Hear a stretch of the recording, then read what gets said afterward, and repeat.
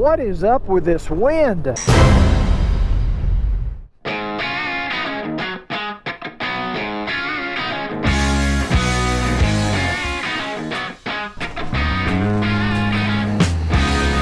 Good morning, everybody. Sunday morning here in, uh, actually in Plano, Texas today. And I'm doing a little shopping this morning after I got my coffee. And I got coffee this morning at Corner Bakery here in Plano because Dawn is out of town, so we didn't meet for breakfast like we normally do. So welcome to Cruise Cruiseman's Motovlogs. If this is your first time here, uh, you're in the right place. If you're passionate about motorcycling, doesn't matter what you ride, you're welcome to uh, hang out with me for a few minutes and just listen to me babble about uh, riding the bike or whatever else we talk about. And today, the topic is wind. That's the main topic. But if you haven't done so already, I would like to invite you to take a second to click that little subscribe button down below. Don't forget to click the notification bell, and that way YouTube will let you know when we come out with new videos. now, we have a pretty big goal this year. We'd like to get to 50,000 subscribers by the end of the year it's a big goal for a channel like this, but I think we can do it if you help us out. I would like to uh, take a second to thank all of you uh, that that sent your condolences and your uh, your nice thoughts um, on the last motovlog where I mentioned Ricky had lost her mother that she passed away on Palm Sunday and uh, there was a, a real outpouring of concern and affection and I uh, I know that Ricky appreciates that and her family and I do appreciate it. Thank you very much. So we'll get past that and as I mentioned in my last video I'm in the process of getting the bike ready to do a road trip out to West Texas and yesterday I did an oil change. It was time for me to do an oil change. Now I change my oil about every 3,500 to 4,000 miles, which is much sooner than what Honda recommends. But uh, I just, you know, I, I enjoy doing it and I feel better knowing that the oil is fresh. Uh, I'm also planning to do a final drive uh, change out the final drive fluid. But as I was looking through my parts in the garage, I noticed I did not have a new O-ring for the, uh, you know, the fill, the fill plug. I didn't want to risk taking that off and having that O-ring damaged and not being able to put a new one back on. So I'm going to wait until I get a new O-ring before I do that, just to be safe. Uh, I didn't want to take you know take it off and then not be able to get it all back together for the road trip. But today's topic is wind, and man, has it been a windy year. In fact, I saw on the local weather the other night that this is the windiest summer we've had since like 1963 in the Dallas-Fort Worth area. Now, I wasn't here in 1963 but uh, it's certainly the windiest I can remember springtime uh, since I've lived here. Just consistent 30, 40 mile an hour gust winds. Uh, in fact, some of you may remember a few weeks ago, we had that little fire in our backyard. It burned part of our fence and I had to replace the fence. Well, my neighbor's fence got it really bad my next door neighbor's yard completely burned and it burned a lot of their fence and their fence wasn't in very good shape anyway our fence is uh, stained and treated and theirs wasn't and it they, they, had an older fence than we had but anyway they just uh, just I mean a few days ago had had a guy come out and replace their entire fence in their backyard and which is not cheap. Some of you if you've built a wood fence you know it's not an inexpensive thing. I think they even installed metal posts. I know they did where they put up a gate. And they they had just finished it like two days three days ago and two days ago a big huge tree in their backyard. This is how windy it was.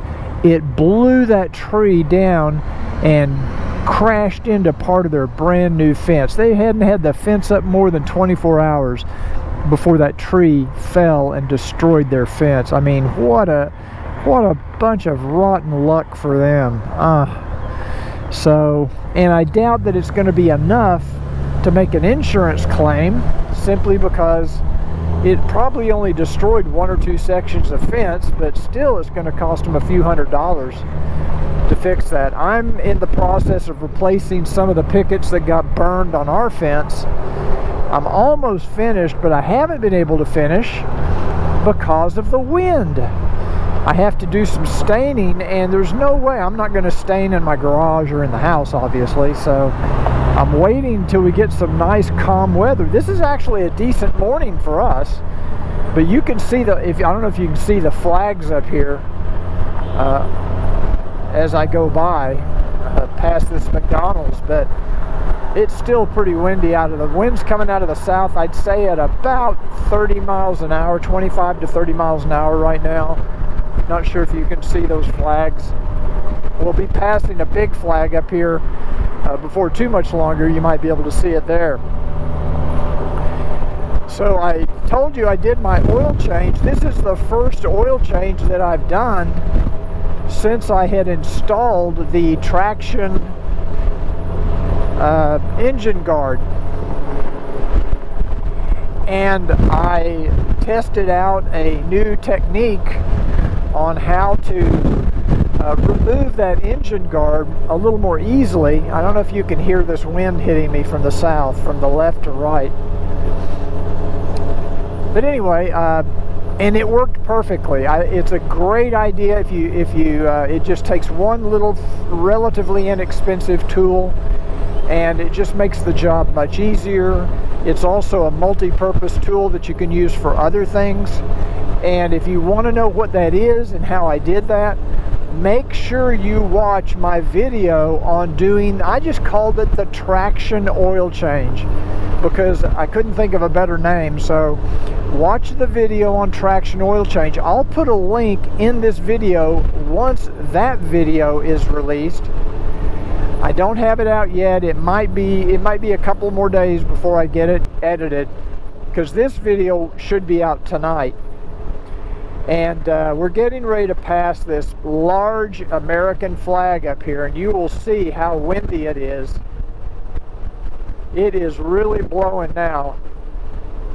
And I'm not sure if you can hear that wind hitting the microphone or not but fortunately Final Cut Pro the newest version of Final Cut Pro which is what I use for software for editing software there's that flag Final Cut Pro has a new feature which is called voice isolation and it uses artificial intelligence and machine learning to be able to identify my voice on a recording and do its best to eliminate any other background sounds. So I may be testing that on this video to eliminate some of that extraneous wind noise and uh, I'll do a couple of tests and you tell me uh, if you think it's better, if it makes a difference. So I've got the uh, oil changed. I hope I'll have the final drive fluid changed before I leave town. I may not. I mentioned in my last video that I've laid out a new route uh, to West Texas it's going to take me a little bit longer to get there, but it won't be just uh, going on interstates the whole way. and it will be a uh, Highway 180 Texas Highway 180 route uh, to West Texas. And I'll be going through quite a few small towns, so I'm sure it'll take longer just because I'll have to slow down to go through these little towns. But I kind of like traveling like that. I don't I don't like interstates. I don't know. What's your method of road trip? Do you like getting on the interstate and going 80, 90 miles an hour the whole time? Or would you prefer to take back roads and smaller roads uh, even if it takes you longer, would you rather? I rather travel like that. I, I don't. I don't like to be in a big hurry when I do a road trip. I kind of like to take my time.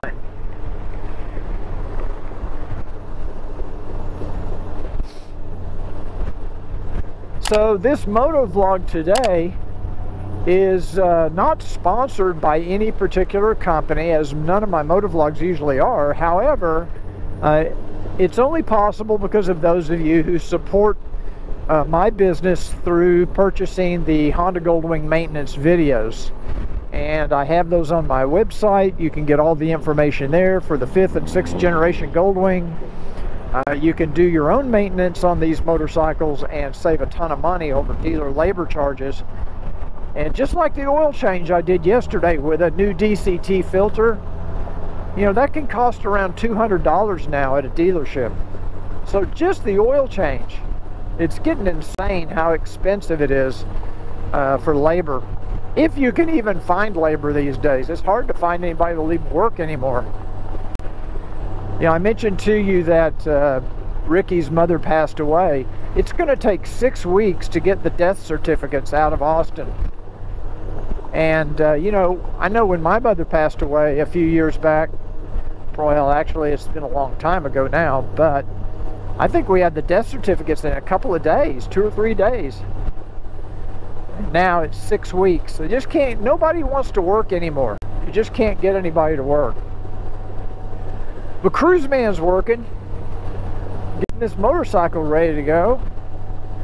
I will be testing out a couple of things on this trip. I will be testing out the new uh, Hopnel saddlebag liners that I have in my uh, saddlebag lids. I've already got them loaded up with tools and other gear. And I'm just anxious to get back on the road. It, the weather should be decent. Hopefully it was not too windy. And uh, hopefully I'll have a good ride out to West Texas. It, I'm waiting for some rainstorms to come through and pass. We're supposed to get rain tonight. Uh, we're supposed to get rain on Monday and Tuesday, pretty heavy thunderstorms. And I think after that, maybe I'll be able to get out of town. Oh, by the way, for those of you interested, and if you are interested, uh, you might be kind of a little strange, but I did have my colonoscopy yesterday. And that was all, you know, that's always fun doing that prep for a colonoscopy. But uh, actually, they had a new kind of prep this time. For those of you that have done it before, they had this new kind where you just take these tablets these pills. You don't have to drink that big two gallon jug of stuff. You just drink, uh, take these pills and drink water and it and it worked really good. And uh, I had a good clean bill of health on the colonoscopy. So uh, I'm sure you're playing I'd be glad to put the pictures up if those of you are interested but uh, uh, probably you're not. So I think it's a I think that's a topic that's more better or better suited not more suited but better suited for a crown and comments. And I think we're going to have a crown and comments coming up here uh, very shortly. I got a lot of stuff to get on my off my chest, and we'll do that then. So anyway, thanks for joining me today, and uh, I'm going home. I'm going to cook a nice uh, standing rib roast today for dinner. And all of you guys just have a great Sunday. Ride safe out there and I'll see you. Oh, and don't forget, if you like this video, don't forget to click that like button, that thumbs up. That really makes a huge difference. And I will see you on the next Cruiseman's Motovlog.